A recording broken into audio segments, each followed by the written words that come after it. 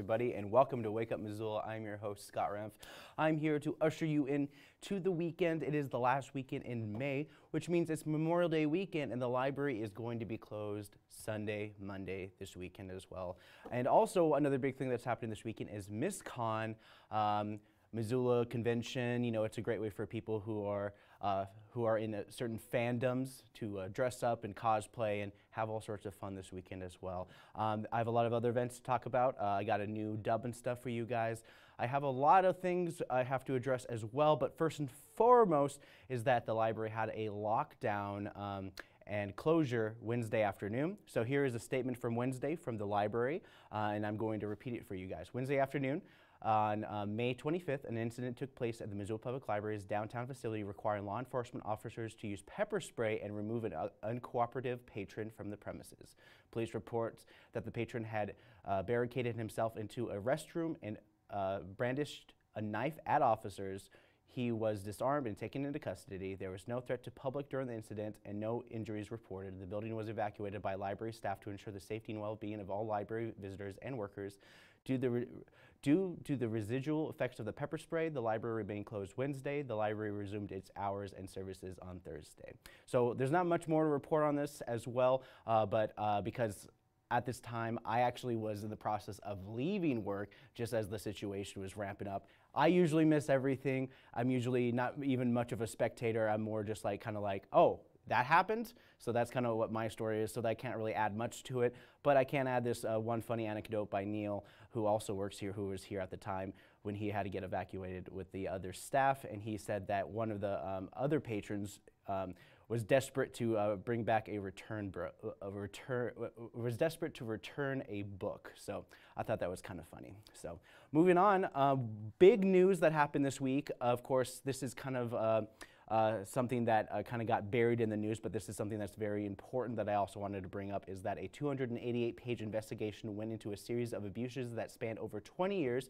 The report asserts that the executive committee staffer of the uh, Southern Baptist Church have been exposed for covering up allegations of sexual abuse from their higher ups. Basically, the church did um, internal investigations, which you know usually goes nowhere. But when they appointed a third-party committee to look into these allegations, oh, all hell broke loose. Pardon my language. But last year, thousands of delegates at the National SBC gathered, made clear that they do not want executive committee to oversee an investigation of its own actions. Instead, they voted overwhelmingly to create a task force charged with overseeing the third-party review. Litton pastor of Redemption Church in Saraland, Alabama, appointed the panel. Those who brought up the allegations of abuse uh, to the higher-ups in the past were met with, the only thing you can do is pray or be told not to talk about it. Those who did speak up were bullied and harassed through hate mail and other means online as well. So far, this is just the start, and these reports tend to snowball into something bigger. And one of the bigger things that happened, there was a viral video that popped up recently of uh, a preacher who uh, admitted it and he threw mercy to the people um, and, he, and he, he admitted it. But just as he admitted it, a, uh, a woman who said that when she was 16 years old, she was abused by that same preacher and confronted him right to his face. And that video was, uh, that video definitely went viral. So um, that's kind of where I'm going to end it right there. There's a lot of news happening, and I want to get through it as fast as possible. I'm just kind of giving you the cliff notes. Uh, NPR did yet another story that exposed the amount of people since 2021 who have had a tow, had to flee their home. Um, so this year, uh, in terms of refugees, um, this is a very staggering um, uh, disaster just in terms of humans just migrating and refugees. And more than 100 million people have left their homes in fear of violence, and about a quarter of them from natural disasters. So Ukraine was about uh, just over 10 million people had to flee their own country. And this is just one country compared to all other countries that are dealing with a lot of the similar um, high acts of violence, fear of violence, and just all sorts of different issues that are happening in the world today. And uh, it kind of stuck on NPR this week, but I, I wanted to mention that there are some folks looking to get back to their homeland in Ukraine, trying to salvage their lives. So at the end of the Mariupol siege that ended in Ukraine's loss, and you know, it's, it's many cities like Kharkiv and other eastern cities are pushing back the Russian advance, but it seems like the Russians had a, a, foothold in some of their southern regions, port cities near Crimea and Mariupol, which is pretty close to it as well, and uh, further encompassing the Black Sea, in which uh, Ukraine uh, pretty much is north of. So from Russia, from the Russian perspective, uh, Boris uh, Bondarev, a counselor in the Russian mission since 2019 who described himself as a 20-year veteran of Russia's foreign ministry, announced his resignation in an email sent to diplomats to the Geneva to Geneva on Monday. His resignation is the most high-profile gesture of protest so far made by a Russian diplomat over this Ukraine conflict. And of course, this has been three months into the Russia mid-level diplomat had to get his affairs in order, but he could. Uh, but he said that he had he used this time to gather his resolve. But also, if you really think about it, a lot of people who are in Russia who speak against Russia, it's basically treason at this point, just because you know recently they passed that law in Russia of spreading misinformation for up to 15 years in prison. So there's a lot of uh, crackdown happening in Russia that are just not really being thought of, and you know it's it's just a lot of things as well. So people tend to defend their homes before they defend their countries. Sometimes those goals align, and the Russian people are being divided very much like ourselves here in America as well, while their government thinks they have no accountability. And I think there's a lot of uh, similarities for sure. But I don't want to get into it too much. Um, but I think this is the biggest thing that's happening as well. And I, it's really hard to cover this kind of stuff because you know this is something I kind of spoke about this last week in terms of the mass shooting that happened in Buffalo. And Tuesday we saw yet another mass shooting, this time in elementary school children. So lone gunman, 18 year old, uh, walked into Uvalde, Texas, a school and opened um, and uh, barricaded himself into one of the classrooms in which had uh, two teachers and 19 students. Um, uh, NPR on Wednesday reported that these kids and teachers were from one fourth grade classroom. The attack at Robb Elementary occurred just two days before summer break. This summer, about 600 taught students in grades two through four. And, you know, it's, uh, it's just another sad chapter in this country that has uh, more mass shootings a day, um, more shootings than days in a year, according to uh, Connecticut U.S. Senator Chris Murphy, who came to Congress representing Sandy Hook has begged his colleagues to fully pass legislation to address the nation's continuing gun violence problem. And I suggest you watch this because um, he, he made a lot of good points and a lot of uh, poignant uh, parts in this. And he also said that stop sending this quiet message of endorsement to these killers. It really kind of sucks uh, because school was almost out for Robb Elementary and just to have this kind of thing happen to them just before school. And even worse, there's a new narrative while the shooting, while the while this uh, story was coming out, it turns out the police were idling by and stood by for almost an hour, leaving the school alone, leaving the shooter alone in the classroom with these kids and teachers, and viral videos of police arresting parents willing to rush the school while they verbally berate police officers. NBC reported almost a day after shooting that the husband of one of the teachers killed had a heart attack. So Guadalupe Joe Garcia, the husband of 50, 46-year-old victim, Irma Garcia, who was shot and killed while sheltering with children in a classroom, died two days after the mass killing that shattered his family. A cousin of his wife confirmed this recently. Uh, they left behind four children. The same cousin, Deborah Austin, set up a GoFundMe site to ask for support. The Garcia's nephew, Joe Martinez, said via Twitter that the couple's children's ages are 13, 15, 19, and 23. It's just not a good situation for anybody and they have a good GoFundMe if you guys feel like you want to uh, donate to them as well. So um, I'm going to end my news report there. There's a lot of there's definitely a lot of stuff going on here, but I wanted to kind of end it there. I'm sorry it was kind of a somber note, but there's just really not much to kind of say. Um, up next, here is an art clip featuring Ellen Ornitz, and this is at the uh, Missoula Art Museum featuring the exhibit Fossils.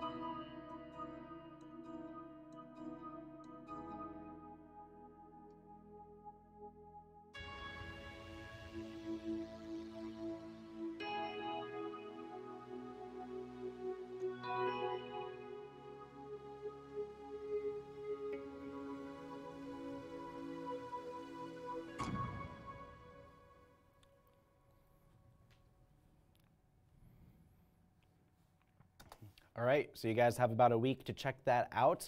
Um, as the, many of these exhibits will be ending in middle of June. So as we're going into uh, more summer months, we're having some summer media, some summer movies, and summer things. I mean, honestly, a lot of the movies that came out in the summer are supposed to distract you and make you think of different things and just have a good old time. So let's kick things off with a couple movies that are coming out this weekend.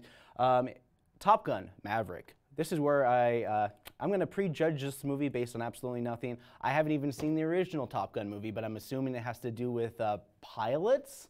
Uh, when a disgraced fighter pilot is brought back to train a new crew recruits, he's going to need more than a shirtless volleyball and shirtless volleyball scene. Maybe a motorcycle racing a jet at high speeds too, not sure. But here we go. Watch Tom Cruise make another movie where insurance rates are bound to go up during this production. Hey, he's doing a uh, movie in space next, actually in space, the first Hollywood movie in space. He's doing it with Jeff Bezos and Blue Origin. Anyways, such watch a movie that used practical effects of actors trying not to pass out as they try to keep up with Tom Cruise. It ain't gonna happen. Tom Cruise is the Wayne Gretzky of acting, just keeps going and going. Miles Teller is in this movie playing his type of role in the shadow of a better actor.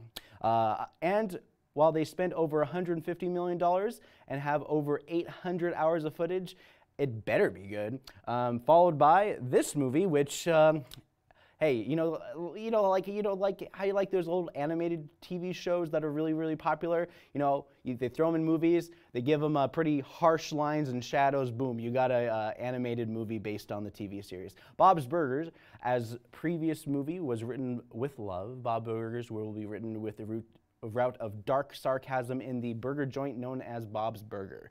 Bob Burger movie joins this quirky family animated comedy as they add shadow and textures to the original fox skin to be like, all you have to do is just put it like contrast, boom, done. Maybe a whoosh, uh, one of those uh, lines and crop and feather things. I'm assuming this movie will be the kind of slice of life disrupted by a large force that only this family, reluctantly, can save their pure town of Wharfed, Wharf, the Wharf. I mean, I've only seen the show only so much. Um, I know Bob, Tina, Louise, Gene. uh, yeah, those people. And Teddy, who can who can forget Teddy? He's great. Um, so I'm really bad with names, and I have a very kind of like a dad approach to this review. So Cannonball Z Stupid Heroes is coming out. Um, that's an anime. Uh, moving on to our uh, last one. Actually, I added a last one just before I started the show, but this is Stranger Things season four, volume one or part one. Uh, turns out every Netflix is affected by, even Netflix is affected by change instead of dumping everything all at once. Why not they just release a little bit of something and then they just release a little bit more of something and then release a little bit more something. So it's basically back to old TV. So why bother with the whole release window with the whole season when they can't annoy fans because of the algorithm said so? So all hail the algorithms. Watch this series of uh, went full Red Scare in the previous season as we pick up the uh, sheriff in a Russian gulag. Uh, the kids are doing something, I assume, maybe monsters. I believe that there's Scary House and even scarier bad guy who looks more like Psycho Goreman. So if you don't know who Psycho Goreman is, he, let me educate you guys because the bad guy in this movie looks exactly like Psycho Goreman. Uh, of course, you know, yeah, interdimensional demon bent on destroying the world. Hey, it's great. It's wonderful. Stranger Things, woo! Anyways, this is uh, things get a little hairy for our kids now, teens dealing with horror elements from the realm of darkness, aka puberty, uh, or actual evil, which is the underground, which it's referred to, and uh, also being a teenager, all the fun, weird, isolating scenes that we frankly do to ourselves. all right. Finally, we have this next show that's coming out. It's the Obi-Wan show. They might as well just call it the Obi-Wan show because welcome to yet another Star Wars that went from being a treat yourself artisan meal mwah, to more just like getting regular pizza from the Star Wars universe as they retcon Baby Yoda in the larger cinematic universe. I swear to God, they're going to come out with like a prequel reboot series, and then Baby Yoda is just kind of in the background waving, and it's just like spot the Baby Yoda in the movie, and it's like okay, whatever. But anyways, um, you get a chance to go back to Tatooine, the desert planet, once again because we all love deserts. Um, enjoying uh, Obi Wan as he just kind of hangs out in the desert and just like, I must train the boy. It's like like he trained his father oh snap, and then you know everyone's just like, okay, cool. All right. So, anyways, um, I, I honestly have no idea what this show's about. It's basically him kind of surviving during the time between the third movie and the first movie. And from the trailer, you see that uh, Luke Skywalker is probably like a, a 10, 11 year old kid. And so I guess he has a good amount of years. Hey, there's 18 years that happened between um, episode three and then this, the, this Star, um, Star Wars episode one, New Hope, blah, blah, blah, all that stuff. But, um, anyways, find out how Obi Wan started going by Ben. Ben may, may not be my first name, but it's a part of me now. Obi Wan looks off and he thinks of a guy he stole the name from, probably in honor of him or them, because modern writing matches the era in which we live in rather than creating a, an original world. So, anyways, that's. That's what's coming out this weekend. Um, I hopefully this made you feel a little bit better and maybe distracted you for some of the horrors that are actually happening in reality. So, um, and I sorry if I reminded you about some of the realities, but um, moving on, um, here's a brand new dub and stuff for you guys, and this is Attack of the Eye Creature, and this is from the 1967 horror film. Terry, he decided to join the police department. Man, your brother Ost used to be really cool. Yeah, he had dreadlocks and everything. He had a car. well, he still has a car. It's just not quite the same kind of car that, you know, you used to. So, you know. But do you think he can use his legal mojo to get us out of a sticky situation? What? We need your help. Oh. Oh, jeez. I don't know what you guys got yourselves into, but I think I should actually call my brother. I think we're going to need a lawyer.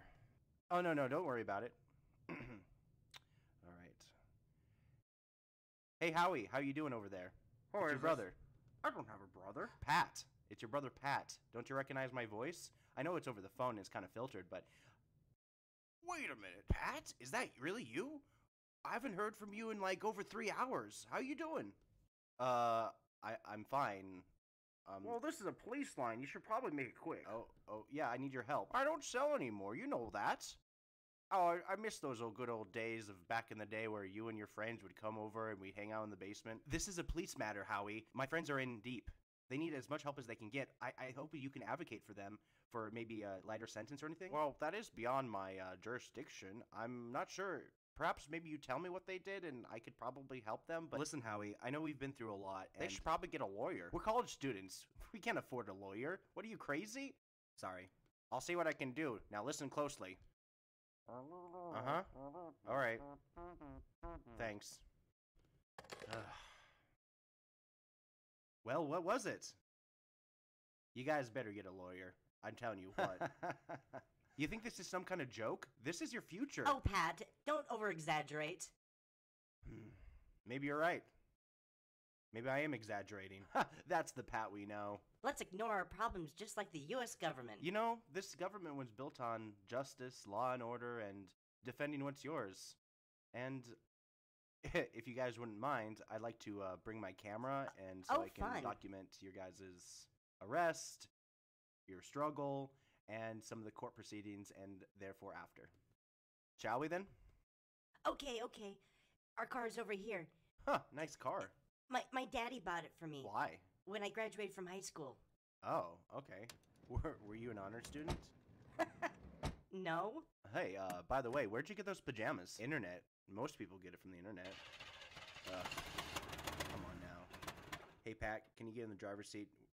We're gonna have to push you to start it. Well, maybe we should just call the police to help us out. What the heck is wrong with you? We, they're not just some kind of maid service. Well, they don't seem to mind talking to me. Ugh. Oh, come on. You like hanging out with us. I will never admit to anything. Good day, sir. Okay, okay. Uh, let's get out of here. Oh, please. Yes, let's get on going. Let's go find this body that you guys left on the road. Jeez, why don't you just call the police and just tell them? Does this remind you of our first date? I'll never forget it. I wish I could forget it. This is some horror movie BS. Okay, what you're gonna want to do is you're gonna have to uh, release the clutch. I know and, what I'm uh, doing. Turn the key. Okay, here we go. I've. All I'm right, used to guys. crappy make cars, sure okay, you buckle up. What have you gotten me into? We can't just leave a dead deer on the side of a road. It's not Uh-huh. right. A dead deer? This is- oh, what did you think it was? a dead human? yeah, right.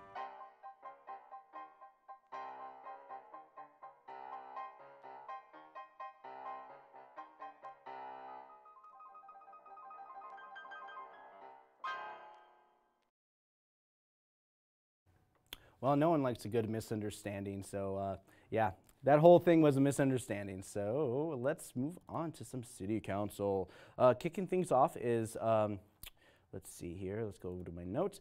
Joe Pascal Help uh, kicked off this public comment portion um, saying that, uh, you know, the city is putting money towards uh, the wrong places in terms of uh, these homeless shelters and Rogers International Security. So here he is once again. Uh, I wasn't here last week. Uh, kind of had a screwed up weekend, so I don't have something written pre uh, ahead of time. So I'm just going to tell you about one of the last times I was down at the ACS and stuff that I saw and how I think it kind of demonstrates some of the problems that I have with how this city is approaching uh, our homeless neighbors.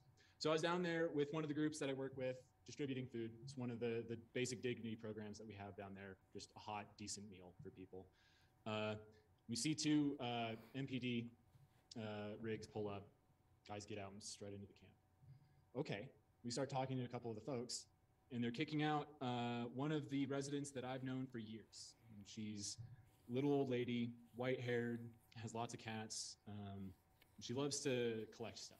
Always likes to take more uh, silverware and stuff. Always likes to have plenty of water bottles and that kind of stuff. They're kicking her out because her campsite's too messy.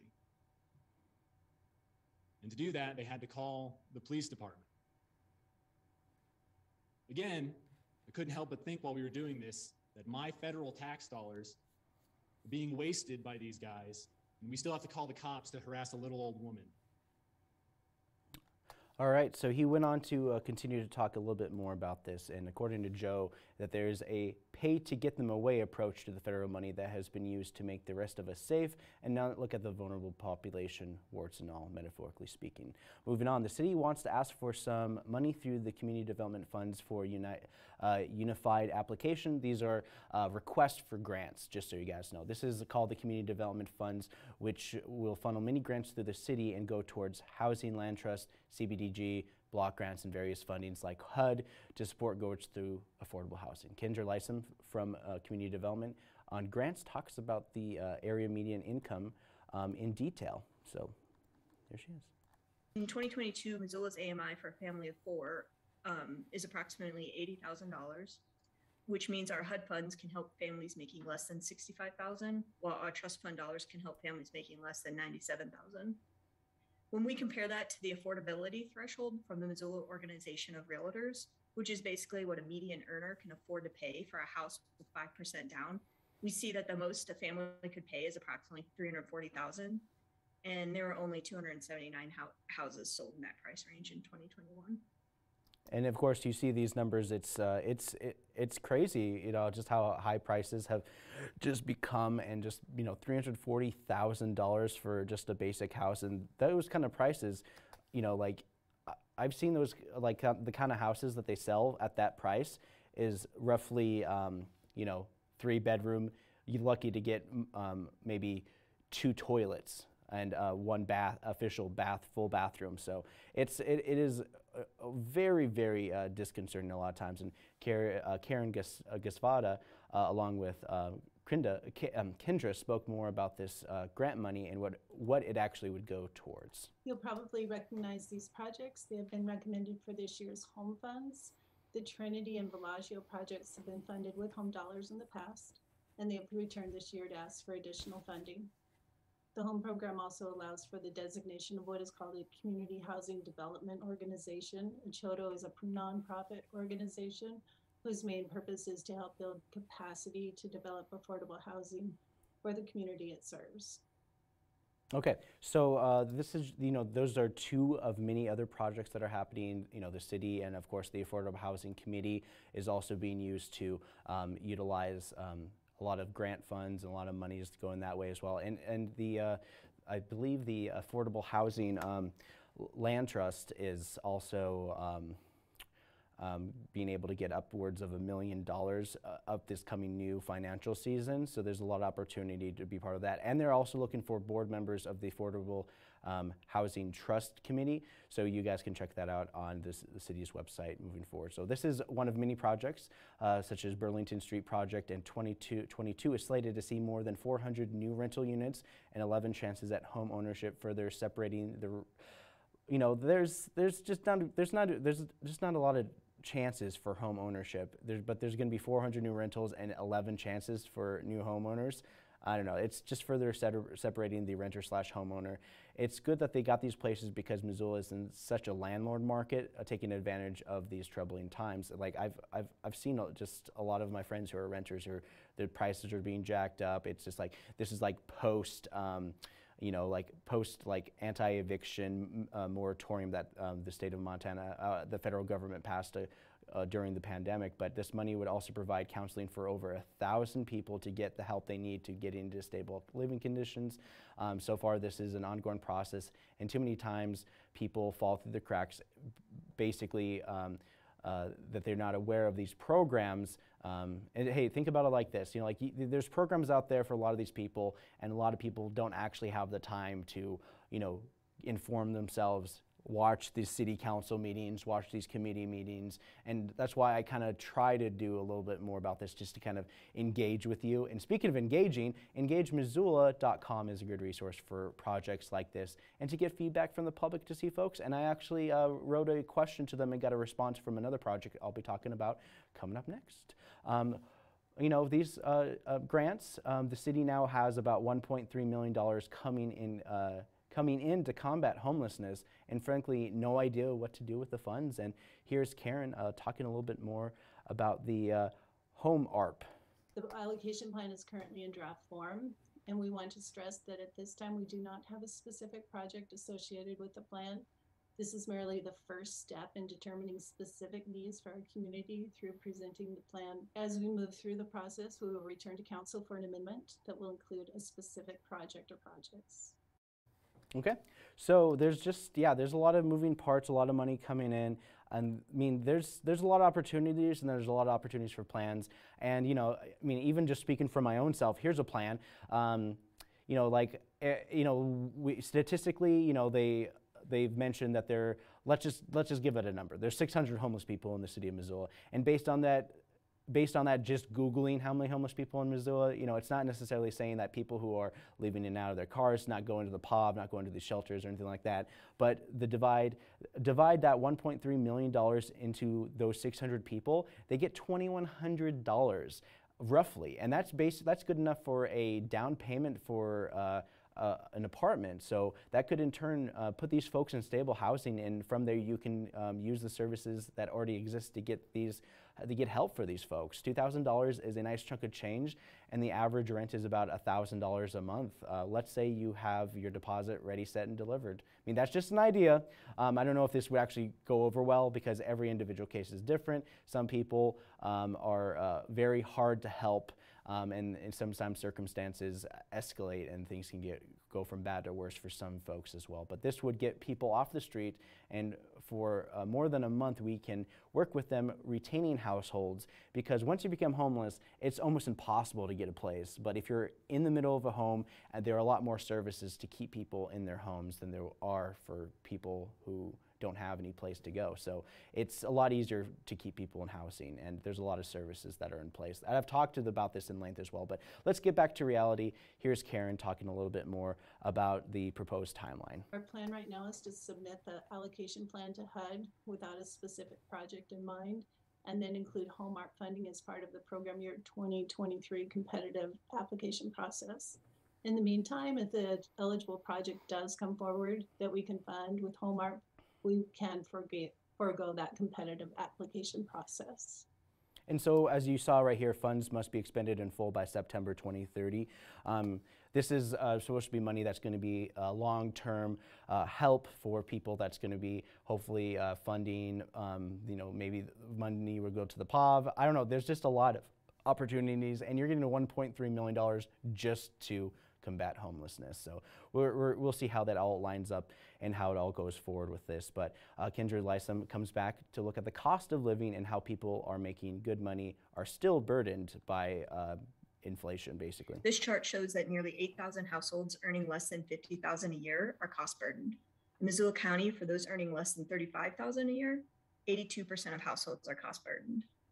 Severely cost burdened low income households are more likely than other renters to sacrifice necessities like healthy food and health care to pay the rent and to experience unstable housing situations.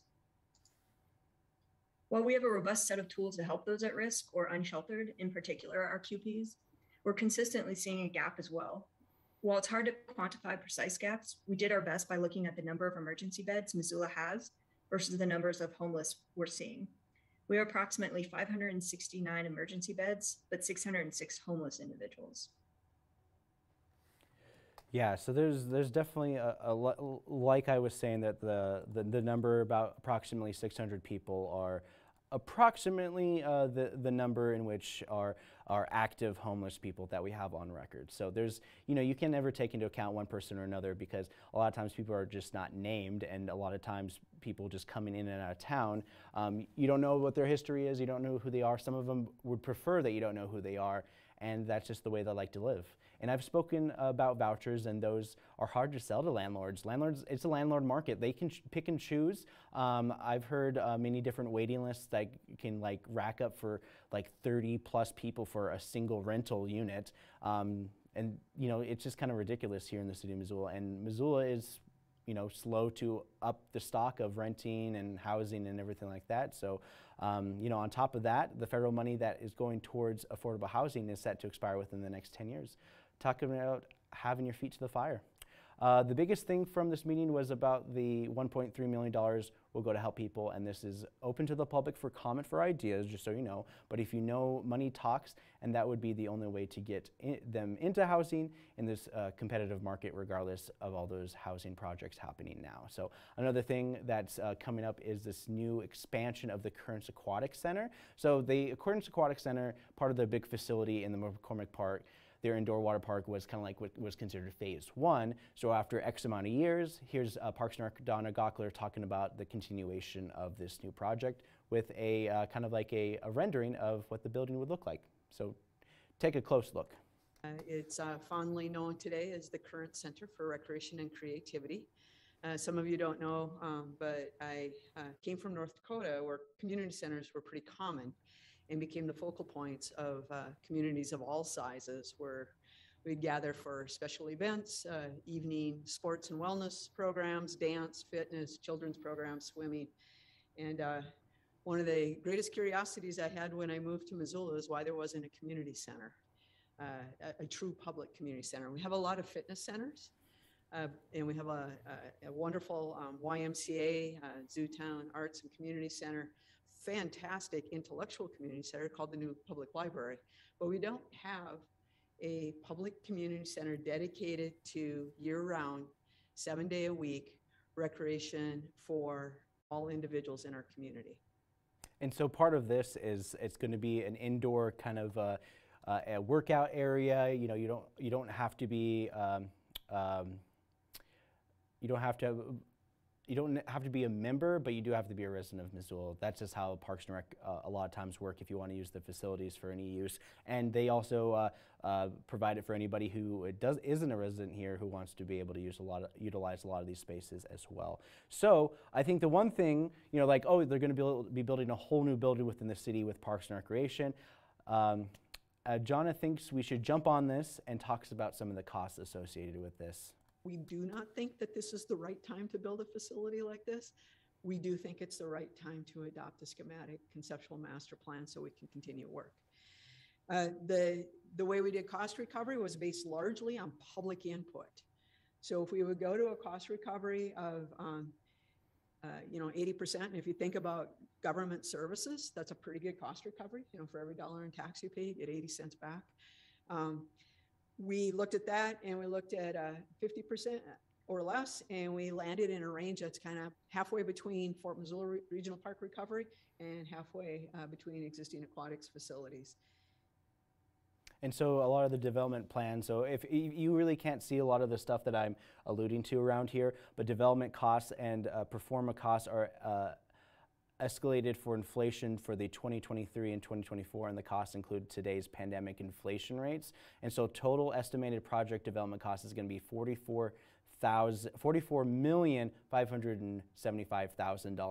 and then annual expenses will be the two million dollars um, for that X amount of time. So there's um, this is a proposal. This isn't like they're going to be like, yes, we're going to start building this as soon as they vote yes on this. This is a essential part for uh, any kind of forward-thinking preliminary, preliminary, prelim- prelim- preliminary plans. If you take a closer look, the estimated costs are going towards the $44 million. Uh, essentially, they have not officially asked taxpayers to foot the bill and are looking for other avenues for funding via their response in Engage Missoula, which highlights this project.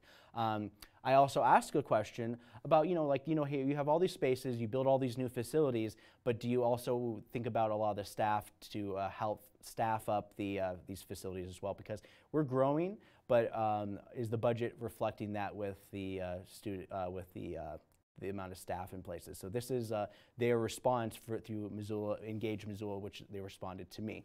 Uh, we are fully staffed at Fort Missoula Regional Park in both, I asked about Fort Missoula Regional Park because I, I, mentioned that it's like, it kind of seems like it's kind of low attended there for people running the show there. So they said that they're fully staffed at Fort Missoula Regional Park in both parks operations, maintenance, and full-time recreation staff. The park maintenance team operates under a city-county joint funding agreement, and the recreational staff is funded by facility rental fees, staff at CCRC would uh, operate sim similar, similarly, which is that uh, convention center, uh, that, that the uh, community center they're going to build. CCRC is the acronym for it, with a portion funded by the park district and some funding from program fees and facility rentals. Keep in mind that we're still in the early planning stages and the project is unfunded at this time. Before the project moves forward, forward, we'll present a full business operational plan to the City Council to ensure maximum cost recovery and adequate funding for staff. So uh, that was the quote that they sent me and they wanted to uh, let me know that. Um, so you guys, you know, and the response was pretty quick too. So engagemissoula.com is uh, pretty effective and I, uh, I'll probably be start doing that a little bit more just to get a uh, nice quote response for you guys. So a little bit more engagement from my part within the city. But Gwen Jones, City Council, talks about tax reform and this project as well. This project um, begs the question that we need tax reform desperately in Montana. We have a very, very broken taxation system and we need tax reform and we need to figure out different dollars from which to pull po different pockets from which to pull dollars. And um, I would love to be in a situation where we did not have to look to philanthropy for the majority of funding for this item. Um, but that's another conversation for another day. In the meantime, we're looking at a con great conceptual plan. And I know how hard Donna and Mike Sweet and all of these people have worked on this for years and years and years. Um, and when I just take a look at what's going on in the world today, Missoula is growing rapidly, uh, which causes a fair amount of stress and disconnection. Our world is changing rapidly. Our economy is upside down. Our income inequity is increasing. And I think all of that points to the fact that it is all the more important to create something like a community center that pulls people together, that provides the vehicle for them to connect. And that's how we keep our community strong is by connecting with each other. Um, we live in a very fractured time. And I think if Missoula is intentional and can pursue these types of goals, that's how we move forward and um, get to a better place. So I'm very much in favor of this. All right, so that was uh, Gwen Jones talking in length about how this and many other projects are going to be uh, popping up in the city of Missoula. Um, hey, and if you really think about it, uh, Missoula is growing, which is 100% true. Um, Missoula itself has annexed different portions of Missoula. We're going to be having that brand new neighborhood off of Mullan. There's going to be all those new houses uh, on North uh, on, the, on the north side, uh, Scott Street. And so there's a lot of opportunities, which also means a larger tax base for the people. So um, if you're thinking that Missoula has a spending problem, um, we're getting, the city of Missoula is having more money to spend. So you gotta, like, it's, it's, it's you gotta think about it in that perspective um, at the same time as uh, we're constantly growing. So for more information about this meeting, you can get log on to the City of Missoula's website, ci.missoula.mt.us, and the city's official have been uh, urging folks to submit, submit comments and questions through engagemissoula.com, which is working with many folks uh, on these projects I mentioned, and they also responded to me. So up next, we have a promo for our summer camps. We doubled down this summer, folks, and we're a uh, little bit worried that we're not going to be able to fill up all these camps for the kiddos. So July, uh, pretty much the uh, the week, three weeks straight, right after the uh, Fourth of July week holiday, which falls on a Monday, um, we're going to be doing animation camps in the AM session and in the PM session. So we have two different camps happening in the morning and in the afternoon. And uh, a lot of the afternoon uh, ones are wide open, um, uh, and there is it is kind of a, a, a, weird kind of spot just because we're doing it from 2 p.m. to 6 p.m. There's really like summer camps. It's kind of hard sell. Like I, I, I definitely noticed like it's a lot better from one to five than it is from two to six. But our morning ones are just getting cleaned out like crazy. So our morning camps are happening from uh, 9 a.m. to 1 p.m. These are just four-hour blocks, four-hour chunks, and you can uh, go online to see if you if you can. Um, see about uh, scholarship options as well. So enough of me selling. Here is a video of more selling. I'm back, Spider-Man!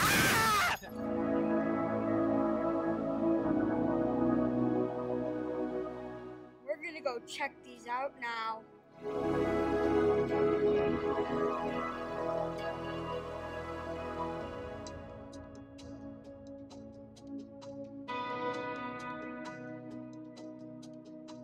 Once again, a hero rises.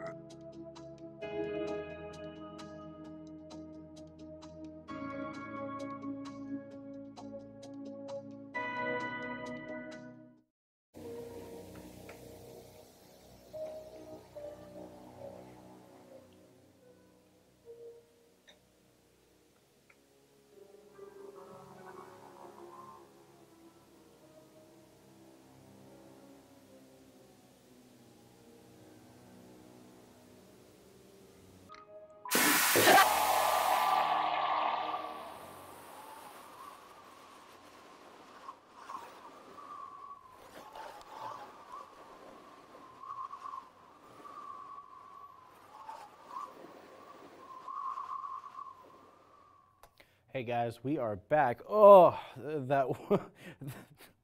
no, I'm just kidding. Uh, just because you know transition from white, it's like there's a storm. Uh, anyways, um, God, I, I am full of beans this morning. But let's kick things off. I um, wanted to mention some of the Friday events that are happening um, Friday. May is Bike Month ongoing throughout this month. This is uh, wrapping up this weekend. Um, Bike Month Missoula is a uh, um, promo to promote people to go alternative ways of transportation rather than take their uh, single cars.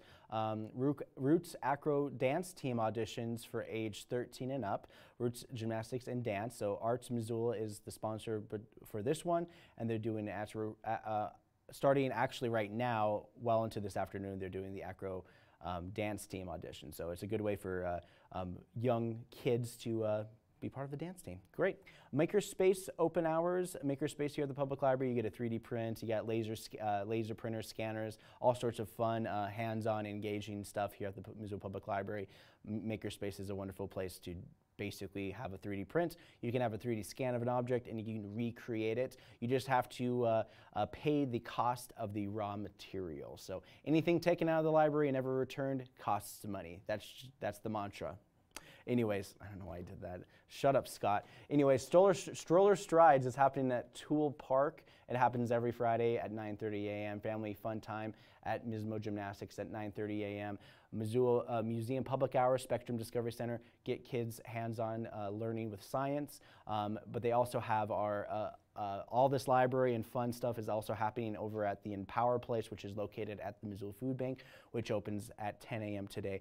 And it is a wonderful source for people of all economic incomes to go in there and shop um, uh, for food and some nutritious meals and stuff like that. And they also have a beautiful uh, uh um, convention kind of uh, so gathering, uh, community gathering spaces, and they have cooking classes up there too. So you guys can check that out, and you can sign up and learn more by uh, the Missoula Food Bank.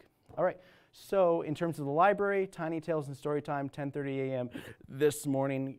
Get kids in, in, involved with reading fun activity for parents and kids alike to go up to the second floor, check out the uh, Imaginar- uh, Imaginarium and the Art Box to enjoy some of this stuff as well. So, kicking things off also for your Friday is MisCon. I talked a little bit about it, but I'm going to talk a little bit more in depth about it. They kick off this weekend with MisCon, uh, Missoula at the Holiday Inn Express in downtown Missoula basically all week long from Friday. It's actually kicking off at 11 a.m. Um, I saw another thing that said it was 2 p.m., but then again, this is a great place for people who like fandom, um, fun things. They're going to have professional cosplayers, artists, authors, and from what I remember, um, UFO folks looking for I Want to Believe. And eh, um, you know, you, eh, this is going to be at the Holiday Inn Express downtown Missoula all weekend long. You can buy a weekend pass, you can buy day passes, all stuff like that. It is a good experience for those who love fandom and want to um, share it with other people who also want to share fandom. So it's a great way to make friends.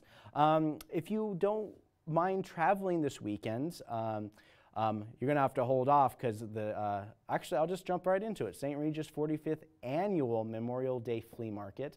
This is at St. Regis Community Park and Community Center starting at 8 a.m. on Saturday. St. Regis, the 45th annual one, more than 200 vendors set up their booths in Montana's largest flea market in St. Regis. Take exit 33 off of I-90 and follow the signs to the community park and community center. Visit St. Regis, Montana, actually St. Regis MT Flea org, or you can call them at 649 1304. Again, that number is 649 1304 for more information. And of course, you always have to put the 406 number in there. I, don't, I didn't need to mention that, but I, I, I just wanted to mention that. But um, going back to the library for today, um, yarns, watercolor on the fourth floor of the library, as always. Um, you have astronomy, Spectrum Discovery Center this afternoon at 2 p.m. You have uh, craft sip at the Create Art Bar, any all uh, anytime, all day, all that stuff. Basic painting classes and stuff like that. Young adult young adult writers group is uh, this afternoon at 3:15 p.m. Missoula Public Library. They usually do this at the Ellingson Room, sometimes online as well. So check out their virtual reality as well. MCAT is uh, hosting a virtual reality. Um, um, I believe uh, once school gets out, it's going to be every Monday through Thursday, but for right now, it's going to be Monday, Wednesday, Friday, and it's going to happen from starting at 4:30 p.m. tonight until close. Do, do, do, do, do. All right. Yule Springer launch party. Um, Grant Creek, Yule HQ, 5 p.m. It's a launch party. Um, Mojo and Selling for free concert. VRTX Fitness. Going to be some acoustic music. You got Missoula Jazz Collective is going to be at Ten Spoon Winery tonight. Acoustic Rolls uh, going to be uh, some miscellaneous jam music at the Highlander Beer off of Reserve. Narcotics Anonymous is going to be at the uh, Fourth D Club and starting at 7 p.m. And also University of Montana also has their Narcotic, Narcotics Anonymous meeting tonight as well. Paint and Sip Happy Go Lucky Painting with a Twist. Uh, Missoula Paddleheads Firework Flag Giveaway, Ogren Park and Allegiance Field at 7 p.m. Shark Buffalo Mirror Gods is going to be at Zootown Arts Community Center tonight. Uh, Sounds of Summer uh, cello recital is going to be at the University of Montana, and all others recitals at the University of Montana are always amazing. I always suggest you guys check it out. Dueling Pianos with Josh Farmer and Doug Olson is going to be at Stave and Hoop tonight. Um, Wailing Aaron Jennings is going to be at the Union Club tonight as well, and those are your Friday events. Um, like I said, St. Regis is also happening. Um, this weekend as well as we jump right into our Saturday stuff. You got your typical farmers markets, uh, you got the People's markets, you got your OG Market by the Red X's. All of them happen around 8 a.m. roughly to about 1 p.m. But if you take it from me, best times to really kind of show up are between 9:30 and about 10:30, um, and then it starts getting really crazy, and then it starts kind of dying down after like 1, 130, but that by then most of the vendors have pretty much either sold out or just pretty much wrapping up. So you guys can check that out and more. Um, um, yep, it just happens every Saturday downtown Missoula. You can pop in, pop out. You don't have to go every weekend. I did it once every Saturday one year. The last couple years I've been kind of like, eh, whatever. It doesn't matter. Uh, uh, I wonder why. Anyways, uh, Glacier Hang, Missoula Public Library. What it's the Hang. They discussed an upcoming dramedy, a Montana-made TV show, Glacier, which is like Park Rangers, but like The Office. So, anyways, that's right. They're needing all hands on deck to make this show happen. The show made by Montanans for Montanans in Montana about Montanans. Montana, Montana. Pretty good comedy, we should say.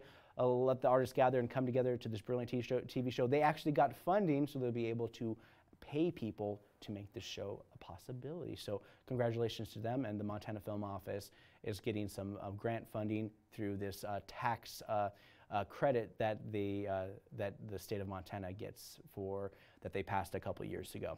I don't want to talk too much about it, but this is going to be at the Missoula Public Library at the fourth floor, and this is going to be happening from 10 a.m. to 12 p.m. This is all production, all that kind of stuff. So actors, get on out of here. I, am just kidding. You can be an actor and a, a PA for all I care. So, anyways, uh, Seeley Lake um, Pollinator Garden Celebration join Clearwater Res, uh, Resource Council to uh, celebrate the opening of the native pollinator garden in the heart of Seeley Lake. This family-friendly event will certainly have some of the interest for anyone who wants to join. There'll be foods and drinks, kids crafts, face painting, music, and more. Make sure to stay and listen to the speakers who wish who will be presenting on beekeeping, how to create your own garden at home, and how to DIY pollinator habit, habit, habitats. My, excuse me. There will be a plant sale for you to buy native plants for your own garden. And you know, Missoula Art Museum has their art hang from 12:30 um, uh, at the Missoula Art Museum. Uh, they provide um, uh, what's that called? Um, brushes, paint, uh, painting equipment, art equipment for the artists as well. Um, and they also have some snacks. You know what doesn't have snacks? Our MCAT Saturday drop-ins. Bring your kids on down to not have snacks. Enjoy some stop animation. Um, what can I say? The last Saturday drop-in for kids wanting to do stop animation, basic movie making for the summer. Why? To get kids into our summer camps. That's why we ended by the end of May, Memorial Day weekend, and then we wait for the month of June to start saying like, hey, don't you guys do Saturday drop-ins? Yes, but they're in our summer camps. You can sign up your kid, and then you know that's how we hustle. Uh, there you go. Now you know. All right, so I don't know. There's really not much more I want to talk too much about. Um, um, later on, that's happening um, Saturday night. If you're interested in going out and about, you got um, uh, Draught Works Brewing Company is hosting uh, Bruce Carl Carlson with Ron Meisner. Uh, Trio Noir is going to be at Finn and Porter. Pesky Varnants is going to be at Ten Spoon Winery. Uh, the Breath of Fresh Air is going to be the Zootown Community Center. These are all happening early evenings. Uh, then as we get further into the later night and more uh, 7 p.m. kind of deals, we have Trans Future, Mass FM, No at Free Cycles. Um, this is uh, Free Cycles is always a, a, fun place to go. You uh, basically buy a ticket to get in there, hang out there, uh, tap a keg, hang out with a bunch of people, and listen to some music. Um, uh, Argentine Tango Social Dance and Beginners is going to be at the West Side Theater at 8 p.m. tonight. So fun way to um, engage and learn something new while also meeting new people. Sound uh, Solid um, Karaoke is going to happen at West, West Side Lanes. I'm not going to read the name because a lot of the names are just like, okay. Russ Nassett and the Revelators is going to be at the Union Club uh, and uh, Chris Moon is always at the Badlander on uh, on Saturdays. So, boo, boo, boo, boo. yep. So, okay, MisCon. Uh, this is MisCon number 36, and it's gonna it's called Carnival of Wonders. So you're gonna see a bunch of people with steampunk top hats and all that stuff. So great. Um, um, yeah, there's just a lot of stuff going on here. I don't want to talk too much about it. Um, but I also wanted to mention that uh, the, usually on Sundays, the, the University of Montana usually has some kind of recitals, and this time they're doing a UM Songwriter Showcase um, and they're going to be featured at the Zootown Arts Community Center Sunday nights. Um, there's, hey, should I talk also talk a little bit about Monday because you know some of you might actually have Memorial Day uh, Monday off. So if you guys are interested in doing things, um, you know, continuation. basically, MisCon will be wrapping up. So there's, I mean, personally, like I've been to MisCon on the Mondays, and they're usually just like, oh, pretty much people are cleaning up in the early afternoon around two o'clock. So it's like, okay, whatever. So yeah, it's it, it's definitely like the long weekend is over Monday let's clean up and just kind of get going. Anyways, um, yeah, the, honestly, there's not much going on for that. It's just a kind of business as usual Memorial Day, um, kind of shenanigans. Nothing is really popping out for your Monday. It kind of feels like, hey, which is not always a, a, a bad thing. And you know, if you have the Monday off like I do, I'm going to enjoy doing absolutely nothing. So if you want to do something this weekend, you can go to MissoulaEvents.net, MissoulaEvents.net. Hey, what's happening? Uh, go to MissoulaEvents.net and kind of see what's going on and subscribe to uh, different uh, um, um, events type pages through uh, Facebook, um, social media, and stuff like that. And you can find out upcoming events and more. You can also go to the uh, online for the Missoula Downtown uh, Partnership and they talk about a lot of things that are happening downtown in festivals, events, especially what they're going to do at, Out to Lunch downtown tonight in Caras Park, kicking things off in the middle of June. Also in June, as we're moving on to the next uh, week, I'm going to be talking a little bit more about City Band. City Band is a, a thing that is a summer series that uh, community members can join with the band with under Gary director Gary Gillette and play some music. And so they usually do this at the Bonner Bandshell in at Bonner Park, and they have rehearsals there Mondays at 7 p.m. and then Wednesday nights at 8 p.m. They play their songs. So there's a really short turnover when it comes to playing their music, but you have a lot of uh, capable musicians um, um, hanging on each other or uh, leaning on each other. That's the word I was looking for. All right, I'm talking too much, um, and I don't really like talking too much about events, but those are the, some of the things that are happening in the city of Missoula. And for Wake Up Missoula, I'm Scott Ranf. Have a good, wonderful Memorial Day weekend.